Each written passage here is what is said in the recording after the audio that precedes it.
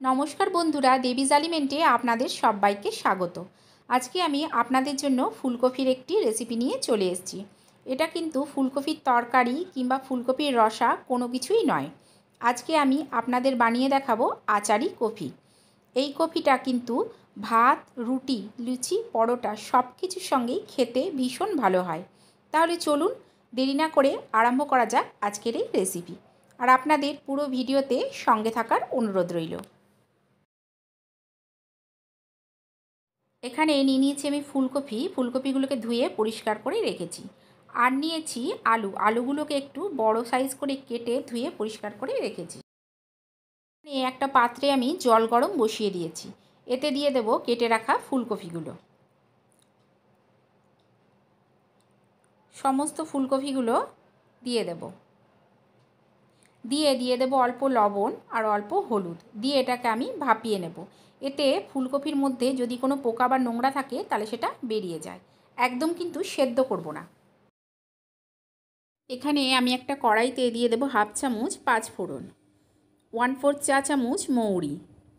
One four চা চামচ সর্ষে আর একটা শুকনো লঙ্কা। দিয়ে এগুলোকে খালি খোলায় আমি একটু ভালো করে ভেজে নেব। এগুলো ভাজা হয়ে গেছে, এবার এগুলো তুলে আমি ঠান্ডা করে গুঁড়ো করে নেব।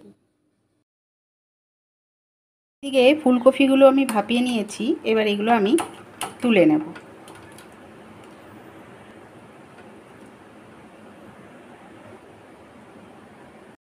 এখানে একটা কড়াই বসিয়ে দিয়েছি, কড়াইতে দিয়ে দেব বেশ কিছুটা সর্ষের তেল। আপনারা চাইলে সাদা তেলও দিতে পারেন।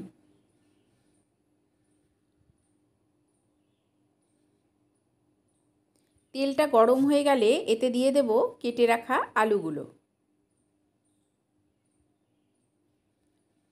সমস্ত আলুগুলো দিয়ে দিয়ে দেব অল্প লবণ। অল্প হলুদ। দিয়ে লবণ আর হলুদ দিয়ে আলুগুলোকে ভালো করে আমি ভেজে নেব।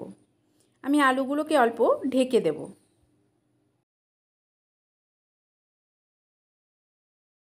কিছুক্ষণ পর আমি ঢাকাটা তুলে নেব। তুলে আলুগুলোকে নেড়ে দেব। দিয়ে আলুগুলোকে ভালো করে ভেজে নেব। আলুগুলো ঢাকা দেওয়ার জন্য তাড়াতাড়ি নরম হয়ে যাবে। আলুগুলো আমার ভাজা হয়ে গেছে, এবার এগুলো আমি তুলে নেব। আলুগুলো সব তুলে নিয়েছি, এবার ওই কড়াইতেই দিয়ে দেব আর অল্প তেল। তেলটা গরম হয়ে গেলে দিয়ে দেব ভাপিয়ে নেওয়া ফুলকপিগুলো। দিয়ে দেব অল্প লবণ, অল্প হলুদ। দিয়ে ফুলকপিগুলোকে ভালো করে ভেজে নেব। ফুলকপিগুলো আমি ভালো করে ভেজে নিয়েছি, এখন এগুলোকে আমি তুলে নেব।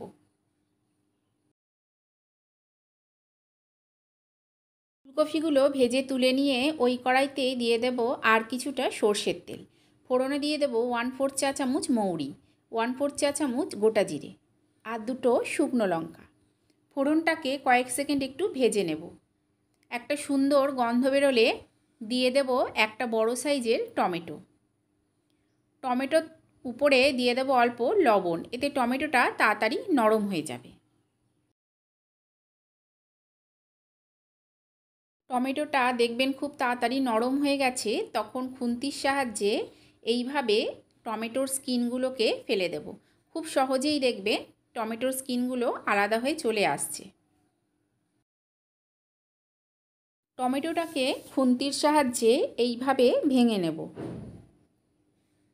সমস্ত টমেটোগুলোকেই খুন্তির সাহায্যে এইভাবে ভেঙে নিয়ে এতে দিয়ে দেব হাফ চামচ আদা বাটা, হাফ চামচ জিরে গুঁড়ো, হাফ চামচ ধনে গুঁড়ো, অল্প হলুদ গুঁড়ো, হাফ চামচ লঙ্কার গুঁড়ো, আর দিয়ে দেব অল্প জল।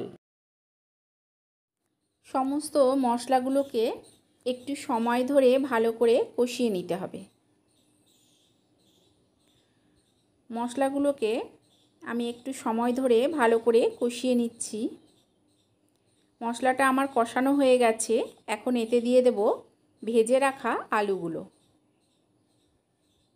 আর দিয়ে দেব ভেজে রাখা ফুলকপি। দিয়ে মশলার সঙ্গে ভালো করে মিশিয়ে আরও কিছুক্ষণ কষিয়ে নেব।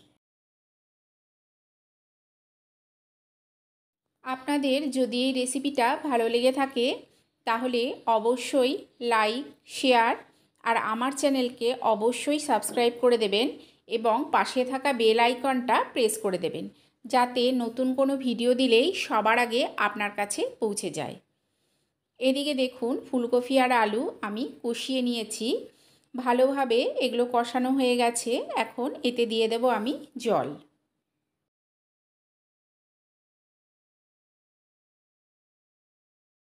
জলটা দিয়ে ফুলকপি, আলু আর মশলার সঙ্গে ভালো করে মিশিয়ে নেব। সমস্ত কিছুকে ভালো করে মিশিয়ে নিয়ে এখন এতে দিয়ে দেব অল্প লবণ। আর মিষ্টির জন্য দিয়ে দেব কিছুটা চিনি। লবণ আর মিষ্টিটা আপনারা সব সময় আপনাদের স্বাদ অনুযায়ী দেবেন। দিয়ে এটাকে মিশিয়ে আমি ঢাকা দিয়ে কিছুক্ষণ হতে দেব। দশ মিনিট পর আমি ঢাকাটা তুলে নেব। দিয়ে দিয়ে দেব চারটে কাঁচা লঙ্কা। দিয়ে ভালো করে মিশিয়ে নেব। সমস্ত কিছুকে একবার নেড়ে দিয়ে এখন এতে দিয়ে দেব আমি যে ভাজা মশলাটা আমি করে রেখেছিলাম, সেটা গুঁড়ো করে নিয়েছি সেটা। এটা দিলে কিন্তু ফুলকপিটার সেন্টটাও ভীষণ সুন্দর হয় আর খেতে একটু আচার আচার টেস্ট হয়। অল্প কিছুক্ষণ ফুটিয়ে নিয়ে সবশেষে দিয়ে দেব কিছুটা ধনে পাতা কুচি। তাহলেই তৈরি হয়ে যাবে আমার ফুলকপির এই রেসিপি আপনারা অবশ্যই একবার এইভাবে বানিয়ে খাবেন আর কেমন লাগল আমাকে কমেন্ট করে জানাবেন। তাহলে চলুন দেখা হবে অন্য একটা ভিডিও নিয়ে।